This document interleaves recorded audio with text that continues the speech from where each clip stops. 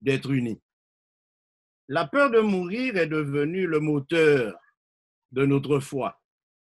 Et cette situation nous rappelle cet épisode extraordinaire de la sortie d'Égypte que nous trouvons en Exode 12, versets 12, 13 et 14. Je lis, Cette nuit-là, je passerai dans le pays d'Égypte et je frapperai tous les premiers-nés du pays d'Égypte, depuis les hommes jusqu'aux animaux, et j'exercerai des jugements contre tous les dieux de l'Égypte. Je suis l'Éternel. Le sang vous servira de signe sur les maisons où vous serez. Je verrai le sang et je passerai par-dessus vous, et il n'y aura point de plaie qui vous détruise quand je frapperai le pays d'Égypte. Oh, lorsque nous lisons cet épisode formidable de la vie d'Israël, nous ne pouvons nous empêcher de penser que le peuple d'Israël profitait de conditions exceptionnelles dans le pays de Goshen. Certains ont vu dans Gozen un refuge, certains ont vu dans Gozen un espace de confinement. Ce n'était pas le cas. En fait, les frères de Joseph, qui étaient bergers, ont eux-mêmes choisi cet emplacement pour développer leur activité économique. Et le pharaon, qui les accueillait comme des invités, demanda à Joseph de choisir la meilleure partie du pays pour installer sa famille. Ainsi donc, Gozen n'était en rien un espace de confinement, c'était un espace d'épanouissement. Et bien entendu, la présence des enfants d'Israël en Gozen devait servir de bénédiction à tout le reste du pays seulement. Les conditions ont changé et le Pharaon qui n'avait pas connu Joseph eut peur du développement extraordinaire du peuple de Dieu constituant une menace, soi-disant, pour l'équilibre social du pays, ce qui était une fake news. Dieu a décidé de délivrer son peuple. Et alors, après un épisode douloureux de l'esclavage, Dieu va donc opérer cette délivrance en demandant à ses enfants de se couvrir du sang, ce sang symbolique qui sert à chacun de nous aujourd'hui dans notre marche chrétienne. Et Dieu décide de conduire ses enfants dans le désert. En fait, le désert est réellement le lieu du confinement. En conduisant son peuple dans le désert, Dieu a choisi le confinement comme méthode d'éducation. Durant la traversée, le peuple a été confronté à tous les problèmes liés au confinement. C'était une quarantaine. Il n'était pas dans le plan de Dieu que son peuple passe 40 ans dans ce désert. Après deux années de marche environ, le peuple était aux portes de Canaan. Et cette marche qui aurait dû être victorieuse en croisant le Jourdain devint une trentaine de 40 ans. La pénurie de nourriture a fait murmurer le peuple et Dieu a dû réagir. Le manque d'eau a créé des dissensions parmi les tribus le risque de contamination était présent, était permanent. On a vu toutes sortes de serpents brûlants et d'épidémies se développer au sein du peuple simplement à cause de sa désobéissance. Les menaces sécuritaires étaient constantes. Des nations environnantes étaient prêtes à faire disparaître le peuple de Dieu.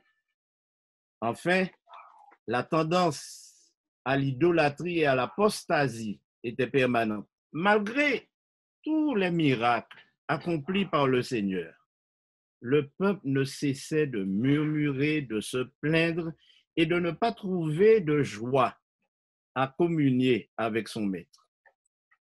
Une seule aspiration demeurait à ce moment, le déconfinement. Quand aura-t-il lieu? Quand arriverons-nous à Canaan? Quand serons-nous déconfinés? Pourtant, Dieu avait quatre objectifs principaux.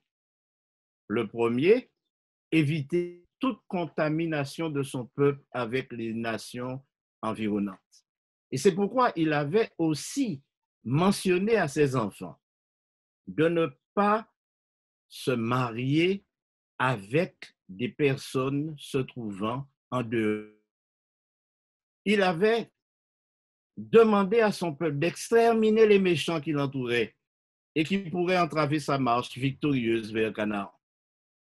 Dieu avait un autre objectif, éviter à son peuple non seulement la contamination, mais d'avoir une bonne santé. C'est dans le désert qu'il lui donne les lois sanitaires, de se laver les mains, de se purifier, de tout faire pour ne pas être corrompu, de ne pas être contaminé. Il voulait donc inviter son peuple à la sanctification. Dans son combat contre l'idolâtrie, Dieu a fait disparaître certains récalcitrants. Il les a fait périr par le feu. Il les a détruits lorsqu'ils ont présenté un feu étranger devant lui. Mais son quatrième objectif était primordial. Cultiver la solidarité et la dépendance à son pouvoir. Ainsi, chers frères et sœurs et chers amis, Dieu ne s'est pas trompé en conduisant son peuple par le désert. Ce confinement avait des bienfaits, avait un objectif salutaire. Arrivé à Canaan pour la première fois, au lieu de se saisir de cette opportunité d'échapper à toute contrainte qui pourrait les ramener dans cet esclavage qu'ils avaient renié, contre lequel ils avaient murmuré, les douze espions de retour de la visite stratégique donnent un rapport majoritairement négatif, poussant le peuple à désirer retourner en Égypte. La révolte, la rébellion ont ourdi, et voilà maintenant des groupes qui se forment et qui s'opposent à l'autorité. Et quoi de très différent avec les situations que nous rencontrons dans certaines de nos églises où certains esprits chagrins ou éventuellement ayant beaucoup d'influence cherchent à détourner le peuple de sa naïveté. C'est ainsi qu'il qualifie la crédulité.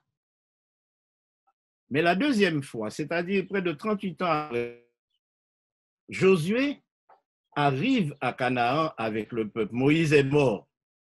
Et Josué, qui a pris la relève, arrive devant Canaan. Et c'est ainsi que le Seigneur va lui demander de faire un certain nombre de choses qui permettront au peuple d'avoir une vie heureuse dans ce nouveau pays qu'il ne connaît pas. Nous découvrons le plan de Dieu.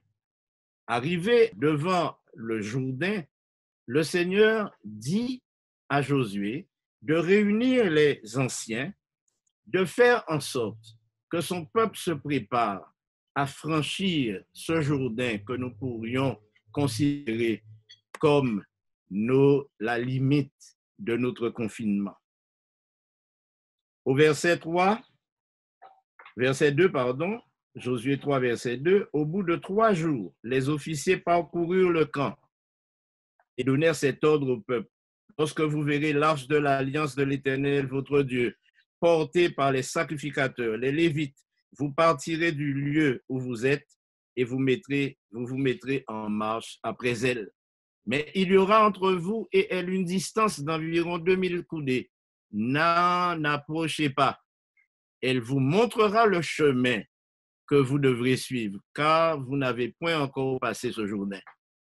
Josué dit au peuple, sanctifiez-vous car demain l'Éternel fera des prodiges au milieu de vous. Et au verset 11, nous lisons, Voici l'arche de l'alliance du Seigneur de toute la terre va passer devant vous dans le Jourdain. Verset 17, les sacrificateurs qui portaient l'arche de l'alliance de l'Éternel s'arrêtèrent de pied ferme sur le sec au milieu du Jourdain pendant que tout Israël passait à sec jusqu'à ce que toute la nation eut achevé de passer le Jourdain. Amen.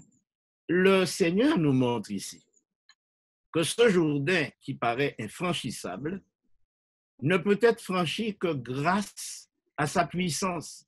Et comme au jour de la mer Rouge, lorsque les pieds des sacrificateurs qui portent l'arche, symbole de la présence de Dieu, touchent l'eau, le Jourdain se fend en deux et les enfants d'Israël ont pu passer à pied sec. Frères et sœurs, chers amis, il y a dans ce que nous venons de voir deux symboles très importants.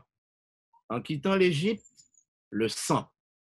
Le sang qui symbolise la justice de Jésus, le vêtement de justice de Jésus, qui nous lave de nos péchés et qui nous permet aussi de jouir de sa protection, car ce sang a été le seul bouclier contre l'attaque de cet ange destructeur.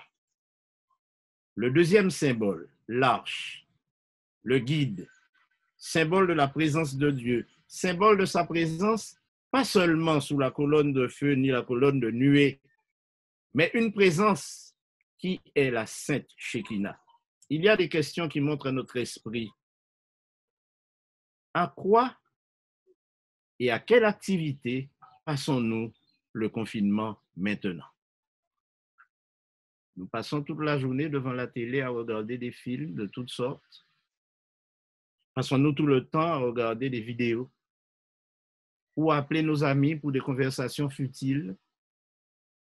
Est-ce que l'arche de l'alliance est notre repère chaque jour?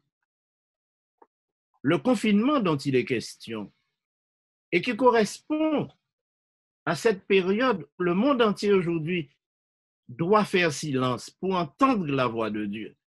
Car ce, cette pandémie, ce coronavirus, qui a réduit au silence toutes les autorités de la terre, est le signe qui leur dit, arrêtez, car je suis Dieu. Ces hommes que nous suivons par le regard et par la foi, n'ont aucune autorité. Ils l'ont perdu. Dieu reprend la main. Et c'est pourquoi, aujourd'hui, nous devons nous aussi faire silence. Nous devons non seulement faire silence, mais offrir à l'Esprit de Dieu l'opportunité d'habiter notre vie, d'occuper notre esprit et de faire en sorte que nous soyons prêts à devenir réellement de nouvelles personnes. Alors, quand la pandémie sera terminée, quel genre de chrétiens serons-nous si nous le sommes encore? Serons-nous de meilleurs chrétiens, actifs sur le plan missionnaire? Serons-nous plus présents aux réunions? Quand je pense qu'aujourd'hui, nous faisons feu de tout bois pour avoir des réunions. Plaise à Dieu que cet élan se maintienne après le confinement. Quand la peur de mourir sera passée, continuerons-nous à prier? Et c'est pourquoi Jésus dit en Matthieu 24, versets 42 à 44, ce texte que nous connaissons bien et qui est le support de notre foi, Veillez donc, puisque vous ne savez quel jour votre Seigneur viendra.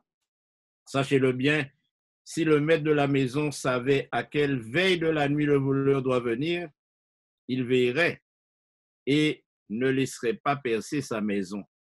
C'est pourquoi vous aussi, tenez-vous prêts, car le Fils de l'homme viendra à l'heure où vous n'y penserez pas. Frères et sœurs, chers amis qui m'écoutez, par-delà les kilomètres qui nous séparent, nous ne nous sommes jamais sentis aussi près les uns des autres que pendant cette période de pandémie. Et nous faisons tout pour que cette unité soit maintenue et que nous restions les uns le plus près possible des autres. Mais alors, quand cette pandémie sera terminée, allons-nous retourner à nos activités comme si de rien n'était? Allons-nous reprendre comme nous L'espérons peut-être quand nos prières montent vers Dieu pour que cette pandémie s'arrête. Parce que nous avons tant de projets, tant de choses à réaliser. Mais le Seigneur nous dit, arrêtez et sachez que je suis Dieu. Car lorsque vous verrez toutes ces choses, dit Jésus, lorsque toutes ces choses commenceront à arriver, redressez-vous et levez vos têtes parce que votre délivrance approche. Que le Seigneur vous bénisse et qu'il vous garde. Amen.